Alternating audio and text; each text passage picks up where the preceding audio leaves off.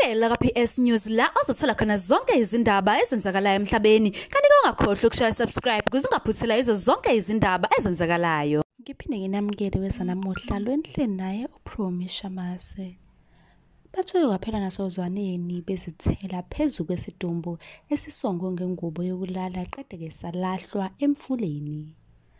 Amaphoyisa kanye nabezimo eziphuthumayo baphuthuma endaweni yesigameko eWestville eThekwini ngemuva kokuthola umbiko othi kukhona ingubo yokulala efuhlelwe emfuleni kanti-ke lento egoqwe ngengubo kubukeka kuyisidumbu sendoda thizeni njengoba bekuvele ney'nzwane zomuntu kancane.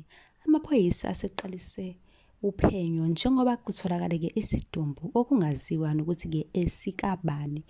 Mlaleli ngicela ubeke umbono wakho la kwi-comment section ungitshele ukuthi wena uthini ngalolu daba.